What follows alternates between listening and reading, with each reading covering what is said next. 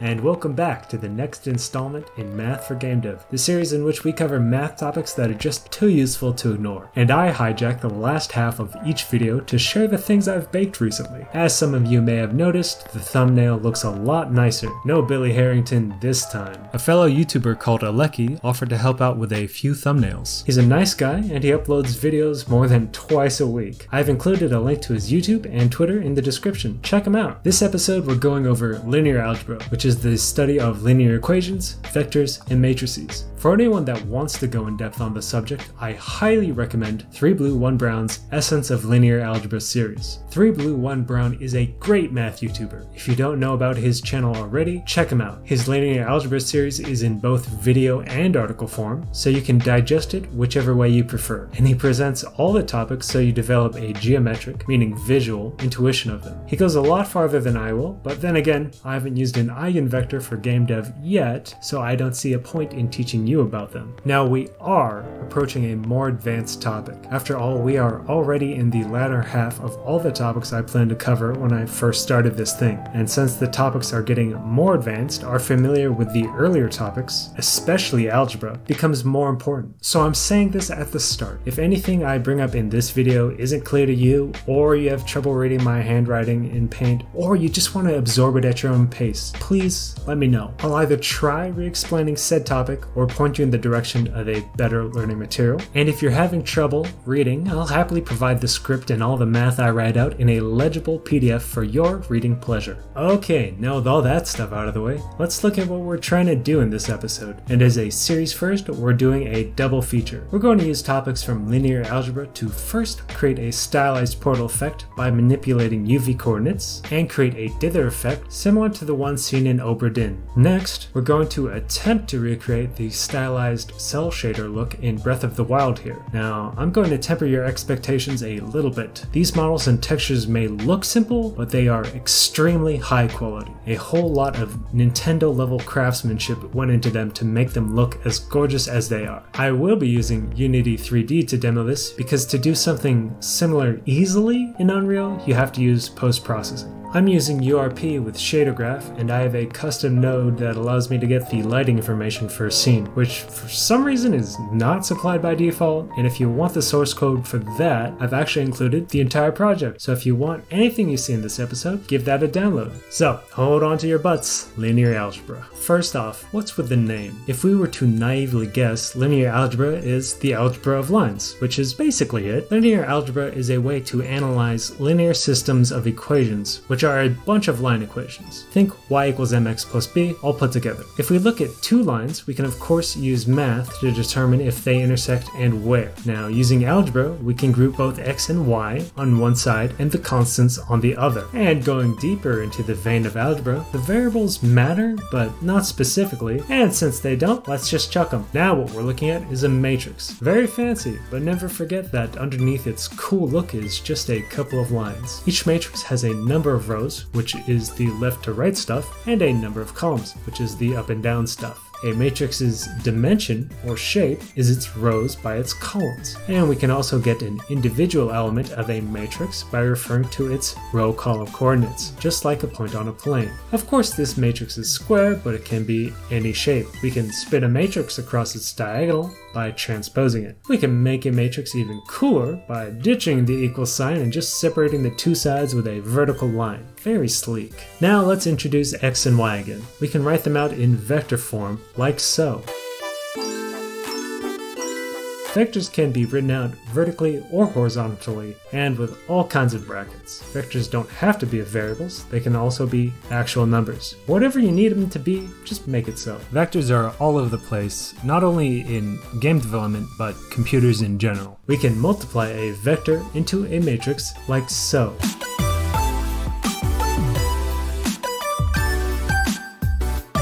As you can see, we have to rotate the vector before we multiply it. This is a very important step, don't forget it. We can only multiply a vector by a matrix if the vector has the same number of elements as the matrix has columns. And, just like with vectors, we can also multiply a matrix into a matrix. And just like with vector multiplication, we also have to rotate our matrix so that way we're multiplying the rows of the left-hand matrix by the columns of the right-hand matrix. As you can see, for matrices to multiply, the rows of the left-hand matrix have to be equal to the number of columns of the right-hand matrix. Also, matrix multiplication is not commutative, meaning that if we swap these two matrices, we're not guaranteed to get the same result. Of course, for the simpler stuff, we can also add and subtract vectors and matrices into each other if they have matching dimensions, and also multiply and dividing them by regular numbers by performing said operation to each element individually. And matrix division. Technically, there's no such thing, but if you ever need to, quote, divide by matrix, just multiply by the inverse of said matrix, which most math libraries let you do pretty easily. For a matrix larger than 3 by 3, finding its inverse is just a big time sink, and I never actually needed to calculate the inverse by hand for a game, and rarely need the inverse itself, so I'm just gonna skip this. For anyone that really wants to know, check out that 3 blue 1 brown series I recommended. Now let's get to our first technical aside. Say we want to make a stylized effect for a portal we've got in our game. Maybe enemies spawn out of it. I don't know, it's your game. We're gonna whip up a RGB noise texture and also a simple grayscale mask for our portal. Again, we don't have to get too fancy because just like in the last video, I believe that we can achieve what we want primarily with math. So let's get to it. For those of you unfamiliar with how computers do 3D graphics, textures are mapped onto 3D models using UV coordinates, which are just two-dimensional vectors. So at each position of a mapped model, the computer can look up a corresponding point on the texture to determine what to show. We're going to pan the red and green channels of our noise texture different directions. To achieve this pan or scroll effect, we're going to add time scaled by some number to each of the individual coords. We can also add the sine of time to get an oscillating effect. After we get the pans we want, we then multiply them into our mask. And it's pretty dark, but just bear with me for a bit, it's gonna look good at the end. And since it's a portal, I want some spinning as well. For that, we're going to use matrix multiplication and our beloved trig functions. This is the rotational matrix. I never memorize it, I just know it exists and I look it up each time I need it, and I expect you to do the same. So if we multiply the UV coords into our rotational matrix, we get, well, it's rotating, but I wanted it to rotate about the center, you know? UV coords define 0, 0 as the bottom left corner, so naturally, our rotation matrix is rotating everything about that point there. If we want to rotate things about the center of the texture, we must first subtract 0.5 from our UV vector, then rotate that, then add 0.5 back to the result. This makes it so the origin of the texture is its center before we rotate it. Then once the rotation is complete, we return the origin to the bottom left corner. Now if we multiply it all up, do some smooth stepping, and lerp some colors, we get a stylized portal looking thing. Of course, for a final version, you might want an actual model instead of a quad, and some particles, maybe a light as well, but this is a good jumping off point. There are a lot of really cool effects you can achieve by just moving textures, and for anyone interested in the topic, a VFX artist for Rime did a number of presentations talking about how he achieved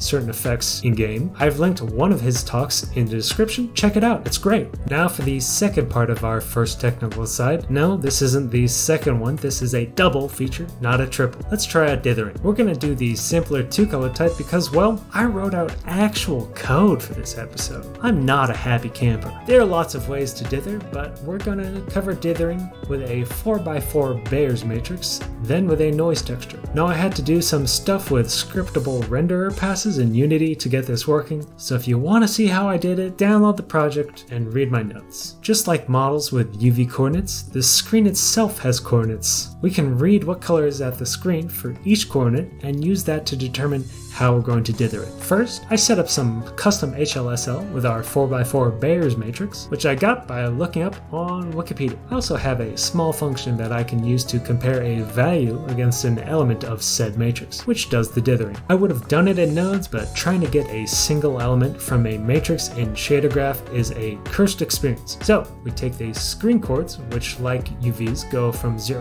to 1, multiply them by the actual dimension of our screen, then mod them. And since we're using a 4x4 matrix, we mod it by 4. After that, we get the screen color, which I'm sampling with MainTex here. Again, check out my scriptable renderer pass for specifics. I convert the screen image to grayscale via the luminosity function. Thanks Wikipedia. Then, compare the grayscale value at that pixel against the Bayer matrix. If the grayscale pixel is greater than the matrix's element, we output white, otherwise black. I like to multiply the grayscale pixel by a bias term so I can swing it closer to darkness or lightness for different looks. Of course, now that we have a black and white dither, we can have some fun and alert between two colors using the result of the dither to achieve some really stylish stuff. Now that we know the idea behind ordered dithering, we can repeat the same thing but with a noise texture. Instead of modulus 4, we do the modulus of the dimension of our noise texture, then the same old comparing values. As you can see, the bias term is really handy here, since our noise texture may trend a little lighter or darker than the ordered Bayer matrix.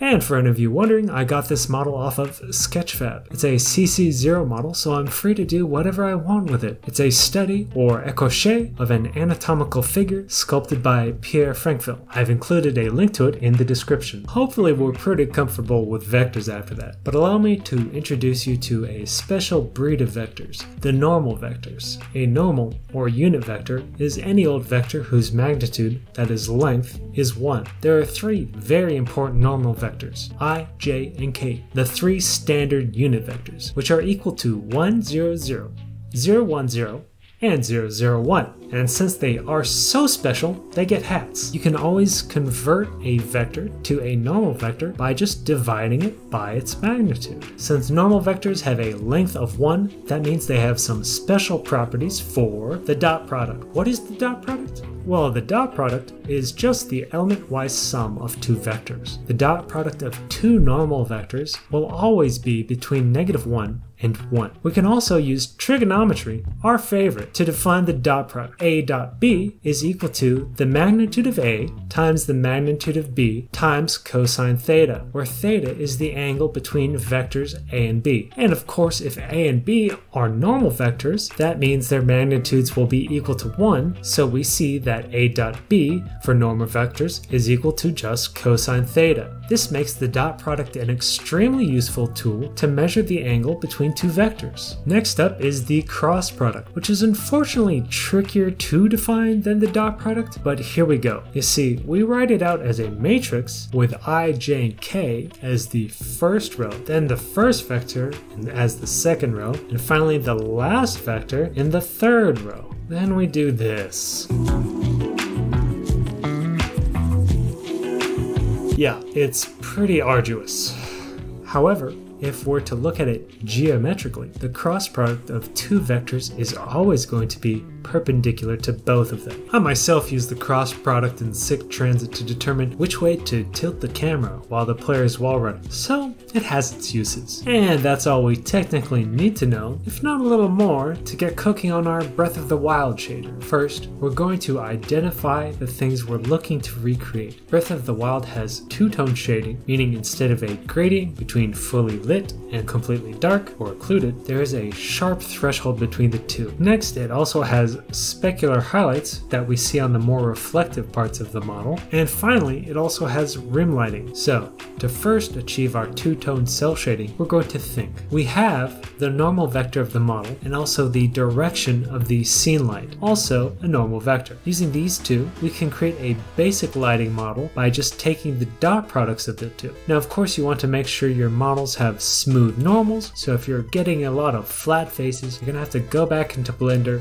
and fix it. The lighting model we get by just taking the dot product here is called Blinn Phong lighting. Of course, we want a sharp threshold between light and dark, so we can either use a basic greater than zero to cut it off, or we can use our handy dandy smooth step. Just set the lower value to 0 and the higher value to just shy of 0 and it'll be a sharp threshold. As an added bonus, if you remember from last video, smooth step automatically clamps its output to between 0 and 1. After that, we're just going to multiply the smooth step result by the actual color of the light. Looking at what we have right now, there's an obvious problem. The dark side is black. We need to add a bit of ambient light. There are a number of ways to do this. I've whipped up a little MonoBehaviour that allows me to set the ambient light for this scene programmatically. Download the project to see how I did it. Now that I have access to a global ambient light, we're just gonna add it into the result here. And hey, looks like a step in the right direction. Now let's add our specular highlights. These are the bright points we see on the model that are supposed to be reflections of the light. These are view dependent, so as the camera moves around, the specular highlights will as well. Let's set it up. Of course, for specular highlights, I just looked it up and recreated it here, nothing fancy.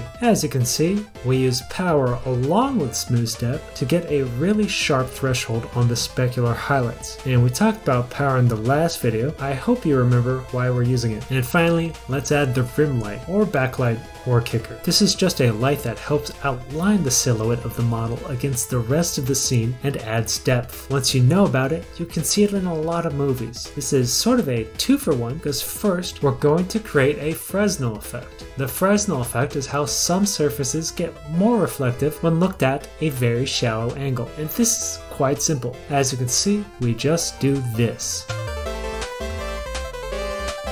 course, we don't want a Fresnel effect, we want a rim light. So to do that, we're just going to multiply the result of our Blinn Phong lighting and then smooth step that. Finally, we add it all up, make sure all our nodes are hooked up properly, and I'm gonna call it. For just a simple shader we whipped up, this is pretty damn close. And again, this is not my model. It's another one from Sketchfab. It's titled Ghibli Meal by Jason Coates. I've included the link to the model and Jason's Twitter in the description. So, wrapping this all up, we covered a lot of linear algebra, but we still used the basic guidelines we laid out in the algebra video. That is to think about what we want and what we have, then use math to bridge the two. We had a bunch of vector information, first UV coords, then the normals of our 3D model, and the direction of our lighting. Then we used math to transform it into what we wanted visually. And that's it for this episode. 3D artists, you are now free to go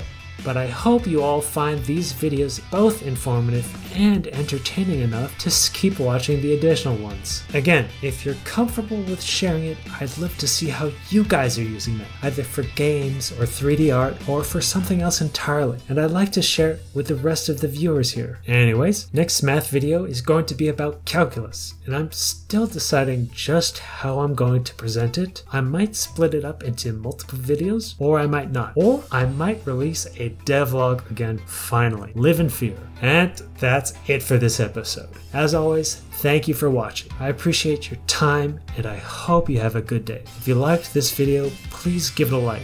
And if you like the series or want to follow along with my game's development, please subscribe. I also read all your comments and try to respond to all of them. They're amazing. Keep them coming. Every little bit helps out. I'm also on Twitter. I post some shit posts there now and then, but really, I just post pictures of what I've been baking lately. And speaking of baking, let's get to it.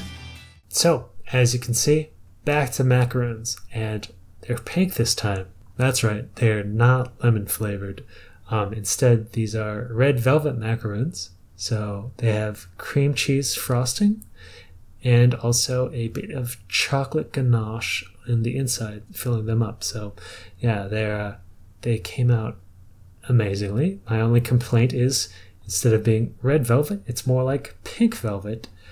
But as you can see, um, the shells look phenomenal, and uh, this is just a gorgeous photo. Uh, I've really been practicing how I take all my photos here. And uh, yeah, I gave, uh, I did like a double batch. So I ended up with, I think, like 20 macro, well, not quite double, but basically double. I ended up with like 20, 40 shells and 20 macaroons. And um, I gave them like, I gave all of them away, but you know, I kept like four for myself, but still, it's great. Um, I, I mean, I love giving them away.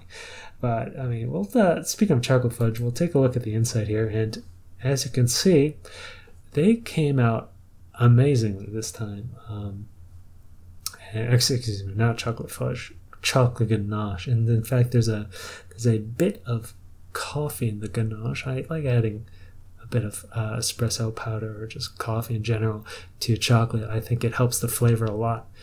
And um, my only complaint is, well, I mean, the shell's perfect and the flavors were great. I liked it. Everybody liked it. They were gorgeous. Uh, my only complaint is that the frosting, the cream cheese frosting was too soft, whereas the chocolate ganache was too hard. So I froze a lot of them uh, because, you know, I gave them out over a long period of time. So, you know, when eat them was they were just only partially defrosted.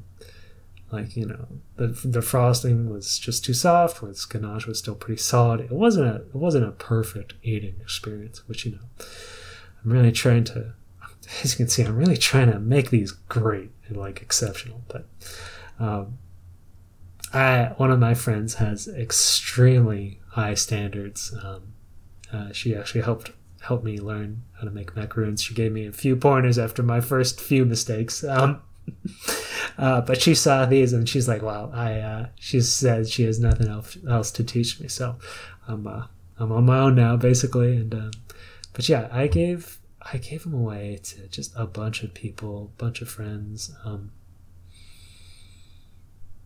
and uh, yeah, it's a it's a great experience. They all they all loved them, to say the least. And uh, people are asking me for recipes now. I mean, uh, I'll see what I can do.